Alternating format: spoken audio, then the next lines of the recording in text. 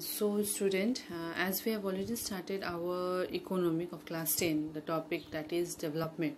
So in our last class we have discussed regarding development categorizing of people on the basics of the developmental goal and incomes and other goal that is common goals and materialistic and non-materialistic goal.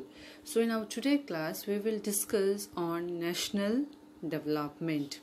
So now let us start Today we will discuss on the topic national development. Now, when we talk about development of a nation or national developments its basic idea is to improve the life of the citizen of that nation to which it belongs. So, what we can uh, talk about is about the GDP of nation or we can also talk about the literacy rate healthcare, life expectancy of individual, and their socio-economic development. So, these are some of the factors which we consider when we talk about national development. Now, along with all this, we will also even focus uh, that is apart from this uh, healthcare, life expectancy, literacy rate, socio-economic development, we will also focus on the personal income, the growth in income, the removal of poverty, satisfactions of the socio-economic needs of the people, and even attainment of democracy and also participation of the society in it. This all we will also include. So these are the national goal or the common goal that has been defined in the national development. However, when we come on comparison between nations and state for comparison it is always important to keep in mind that we will always compare the nation and state with its with its average income. We will not compare it with the total income. Why? As because when we are comparing the total income that means the total income is based on the numbers of people living in that country. So rather than comparing the total income, we need to compare its average income. That is, average income is been calculated by the total income of the country divided by its total population. The average income is also called per capita income. Now, World Development Report that has been brought by World Bank has classified the countries that is countries with per capita income um, which countries having that is US dollar of uh, 12,056 per annum and above in 2017 comes under the rich countries list and those countries with per capita income of US dollar that is 955 or less has been listed in the low income countries. So, if we see of our country India, it comes under the category of low income country as because the per capita income of India in 2017 was just US dollar 1820 per annum now, if we uh, talk about the rich country, uh, we will exclude the Middle East and certain uh, other some small country that are developed countries. As because we are excluding this uh, Middle East uh, and the, some uh, other small countries because this kind, this countries are rich country, but we won't consider them as a developed nation. So these are some of the basics idea which help us uh, to know at what parameter or factor we compare the developmental level of the nation. So we can definitely compare the developmental uh, level uh, at the per capita income. That means when we are comparing the developmental level of a nation, we will compare it with the per, per capita income rather than with the uh, absolute income or the total income. Now beside this income what are the other factor that is important? Now if we will uh, look at india uh, we will take some example of punjab and kerala. Now punjab has much higher per capita income as compared to kerala.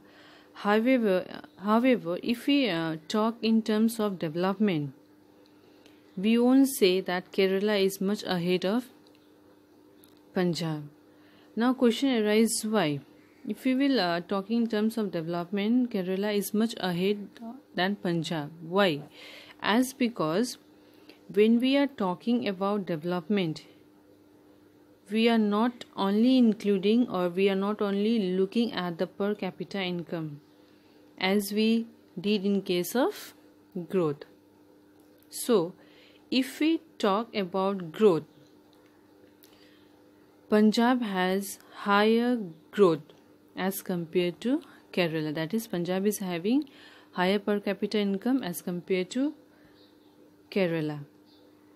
As but if we talk in terms of development, we are including other parameter. That means we are also looking at some other factor like infant mortality rate, literacy rate, net attendance ratio. Now, you just look at this uh, table of 1.4 here you can see uh, Haryana, Kerala, Bihar is been given the state and infant mortality rate, literacy rate and net attendance ratio is been given. Now, infant mortality rate. What is infant mortality rate? Uh, it is a number of uh, children that is uh, not surviving below the age of one years. That is, children die before one years as proportion of 1000 live birth that is if our infant mortality rate is higher this indicate that that particular region is not doing well in terms of development that means in terms of development that uh, region is backward or is not doing well. If we will look at the literacy rate again in literacy rate if a person can read and write above the age group of 7 years we can say that particular region is developing or is going higher. Now net attendance ratio if we will look at the net attendance ratio it is the children with the age group of 6 to 10 if they are attending the school uh, as compared to other region. That means suppose if region a is uh, going doing well that means in, in from the region a the children of the age group 6 to 10 years they are going and attending the school. So in these terms we can say in terms of net attendance ratio that that particular region a is developing too. So you can see the chart out here. Haryana infant mortality rate is 33 literacy rate is 82 and net attendance ratio is 61 so kerala is having 10 infant mortality rate literacy is 94 net attendance is 83 so from this you can see that the kerala is developing is going higher in the as a developed nation. Now out here public facility is an also an important factor or parameter we can say as because money in your pocket cannot buy all the goods and services that you may need to live well. Like you are having money and you are suffering from some uh, infectious disease. That means money at that time may also not be able to protect you from that infectious disease. So for that what is important is that the community or that particular region must take some preventive step. So as in that if you will see if they are having pollution free environment unadult medicine more and sanitized facility is there. If all overall all this facility is there in that community it show that the particular community or region is much better and is in the process of development. So you have a country which are working for poverty elimination the removal of the poverty. Country like uh, we can say india uh, you have kind of public distribution system out there that is pds which you have already read in class 9 now example of uh, punjab and kerala which we have taken. So punjab has definitely higher per capita income but it's lower in terms of infant mortality rate or we can say its uh, infant mortality rate is much higher than the as compared to Kerala. So we cannot calculate it's based on the development of region. So we cannot consider Haryana as a developed region. So development of region would be higher or it, on the basis of the standard of the living that we have seen in Kerala. So, Kerala would be higher than that of Punjab as because of the basic health and education facility and standard of living in Kerala. So, on this factor parameter, Kerala is much higher and it is developed. Now, out here, important terms come that is undernourishment it is also one of the important factor that we talked about when we are talking about the development here undernourishment is measured now what how the undernourishment is been measured it has been measured by bmi so what is bmi it is a body mass index. So out here it is been measured with the uh, body weight of a person is divided by its height. So the bmi is been found by division of the body weight of a person that is been divided by its height. So these are uh, some of the parameters or factor which will we will look into when we will consider the development. When we will judge for the development we will see all this uh, factor in mind.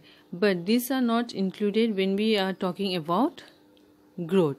So till uh, this much we will discuss today. In the next class we will discuss on the topic human developmental report so till this much thank you